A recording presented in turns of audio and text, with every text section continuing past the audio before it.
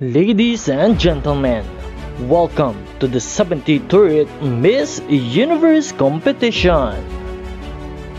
Live in Mexico, witness our beautiful Miss Universe delegates compete for the Cubatas crown Miss Universe 2024. Subscribe Labis na nagpapasalamat at sobrang masaya si Chelsea Manalo para sa lahat ng kanyang mga achievements na natatanggap sa kanyang karera.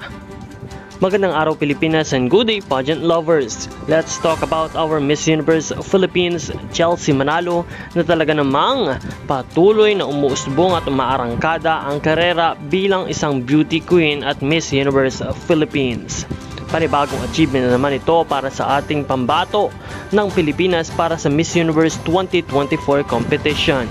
Malapit na nga at magaganap na sa November 16 in Mexican time sa Mexico ang Miss Universe 2024. Ito nga ang ika-73rd edition ng Miss Universe kung saan isang pasabog at malaking event ang magaganap dahil sa malaki ang pagbabago sa kompetisyon ang pagbongga ng isa sa pinakamalaking stage na magaganap sa kasaysayan ng Miss Universe at ang pinakamaraming kalahok na umaabot sa 130 countries.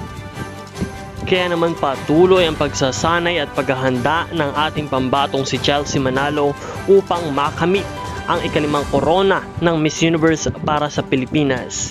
Hindi madali ang kanyang pagdadaanan, ngunit sa pagiging porsigido at positibo sa kanyang buhay ay talaga namang hindi imposible na makuha natin ang kanyang inaasam.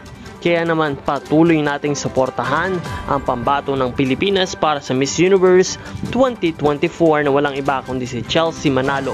Marami pang updates ang ating ibibigay para sa kanyang laban. Kaya huwag kalimutan na pindutin ang subscribe button dahil marami pa po tayong mga videong i-upload. Magkita po tayo sa susunod.